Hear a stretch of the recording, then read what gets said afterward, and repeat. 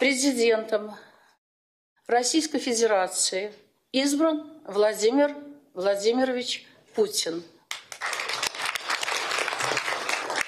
На выборах главы государства свою гражданскую позицию выразили более 87 миллионов избирателей. Председатель Центральной избирательной комиссии России Элла Памфилова подчеркнула, что в современной истории страны подобных показателей еще не было.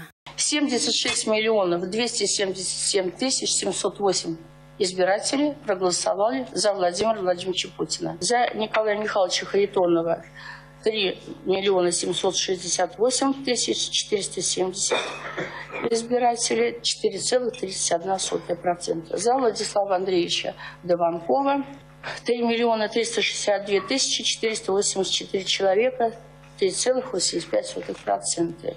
Из-за Леонида Эдуардовича Слуцкого 2 миллиона 797 тысяч 629 человек, 3,2%.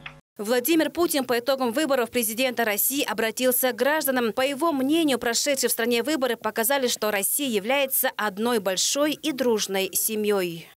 Прошедшая кампания была напряженной и крайне ответственной. Ведь, по большому счету, мы выбирали путь, по которому Россия пойдет дальше. Выбирали будущее для себя и своих детей. Еще раз благодарю всех, кто принял участие в голосовании независимо от того, кому вы отдали свой голос. Каждый ваш голос, повторю, имел огромное значение.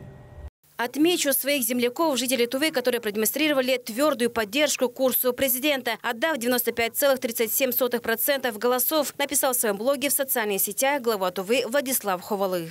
Многонациональная Тува однозначно и убедительно проголосовала за независимую, суверенную и сильную Россию. Уверен, что и дальше мы будем также дружно защищать свой мир, свои ценности, свой уклад жизни, сохранять единство своей страны. Абсолютную поддержку Владимиру Владимировичу оказали жители сел Чарабажи, Дзунхемчикского кожуна, Кундусту, Кахемского кожуна, Худ Пихемского кожуна, Иштиихем Улухемского кожуна и Агдаш Судхольского кожуна.